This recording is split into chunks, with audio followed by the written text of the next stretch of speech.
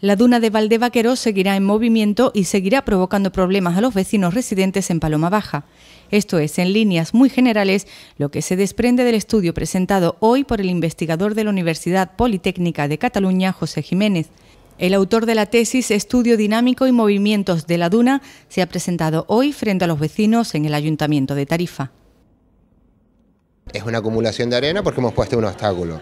La característica principal que tenemos aquí en Valdevaquero es que el viento continuamente me aporta arena. Por lo tanto, además de que yo tenga el problema de fijar la arena para que no se me mueva, cada año se me va acumulando más y más y más.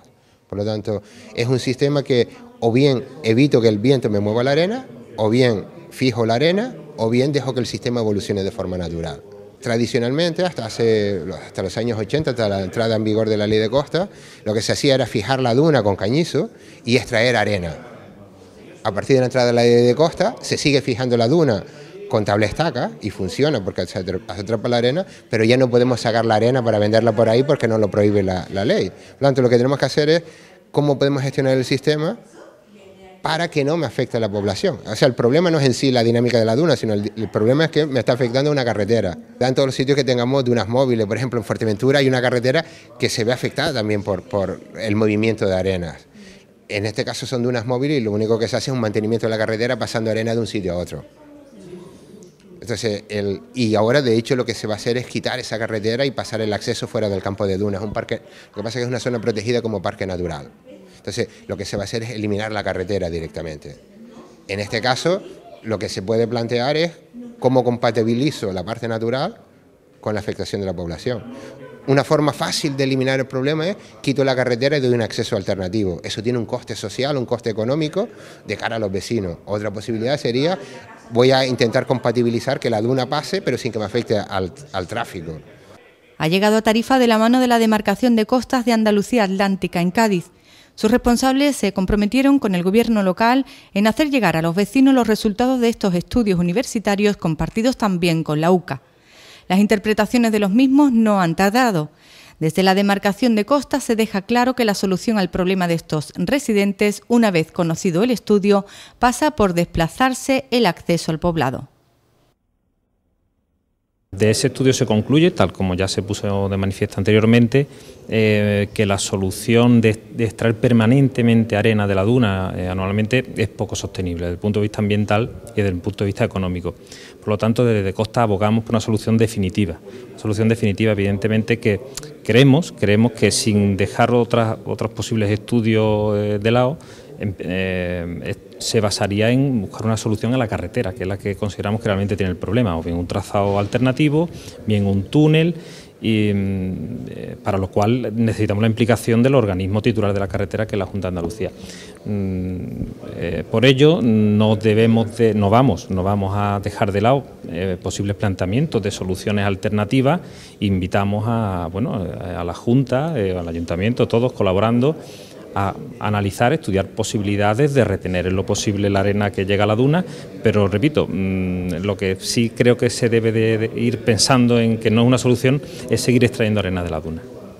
Desde el Gobierno, representado por el propio alcalde que ha acogido el encuentro en el Salón de Plenos, se agradece todo tipo de conocimiento añadido y promovido desde Costas. Sin embargo, se deja claro también que si no hay implicación y entendimiento tampoco habrá soluciones. Juan Andrés Gil ha puesto de relieve las grandes ausencias como las de la Administración andaluza. No está aquí la Junta de Andalucía, que es otro de los intervinientes importantes a nivel administrativo de este tema, que tiene también que aportar las soluciones que, entre todos mm, abre la luz ya definitiva a, a este problema, puesto que seguimos sin tener la posibilidad clara de optar por un proyecto mm, que no lo solucione para el futuro, un túnel o una carretera alternativa que solucione el problema. Ahora mismo lo que sí tenemos es una apuesta de la Administración de Costa que está aquí hoy cumpliendo con este compromiso y anunciándole a los vecinos lo que ya hace unos meses dimos a conocer, de que ya hay un proyecto de regeneración de playa que va a suponer la extracción de 50.000 metros cúbicos de arena con lo cual vamos a tener un aporte a, las playas que va a regenerarlo y va a ser positivo para la misma y vamos a tener un periodo de tranquilidad, puesto que sabemos que eso aproximadamente sin, con margen de error que tienen estas cosas, pues podemos tener un año más o un año y pico más de, tranquilidad en el aspecto de la preocupación en el bloqueo de la carretera. Que hay que tomar determinaciones y decisiones para que este problema deje de serlo eh, a, medio y largo plazo y eso, eso lógicamente tiene que ser por la estrategia de tener un, paso adecuado para que los vecinos sigan teniendo acceso a núcleo de Paloma sin estar, eh, digamos que siempre a merced de, los vientos y de la carretera. Esa es la realidad que tenemos, pero yo como alcalde confío en todas las administraciones y confío que, este, estos meses y este año y pico que llevamos de trabajo conjunto vaya dando fruto y poco a poco se vuelvan a, a reanudar las reuniones entre todas las administraciones y lleguemos a ese punto de consenso en buscar esas soluciones definitivas. A corto plazo, felicitarnos porque vamos a tener una, solución para este verano y para los próximos meses para olvidar esta preocupación tan grande, pero lógicamente desde nuestra opción del ayuntamiento al lado de los vecinos seguimos reclamando a la Junta de Andalucía y a la Administración del Estado de que haya un consenso generalizado para actuar todos juntos para buscar esa solución definitiva que todavía no tenemos. Finalmente, son los afectados los que concluyen sobre un interesante y didáctico encuentro. Ellos subrayan que siguen estando como al principio y que la complicidad real y la implicación son las grandes ausentes. Que nos damos cuenta siempre que no se ponen de acuerdo las administraciones.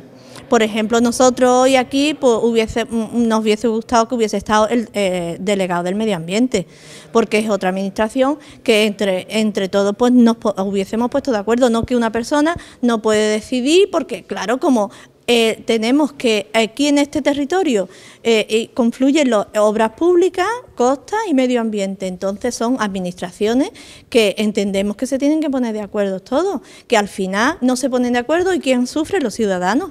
Llevamos ya dos años con la arena en la carretera, ¿eh? que no puede pasar una ambulancia, que no puede pasar un camión de bomberos y entonces y tenemos que llevar una pala en el coche porque si hace mucho viento por la noche no podemos salir por la mañana para trabajar.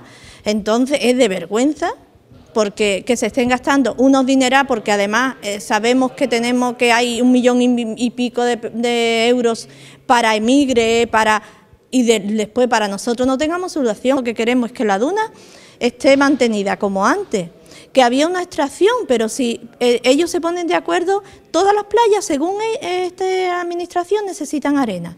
Pues entonces, que la extracción que haya sea para las playas. Yo no digo que sea la extracción para, para un beneficio, ni para la venta, ni nada, pero que cuenten con las personas que han trabajado en la duna, que cuenten con los ciudadanos, porque vale que un técnico a mí me parece muy bien y además este señor, pues, con todo mi respeto, pero que personas que han trabajado allí, pues que, a ver si verdaderamente cuenta con nosotros.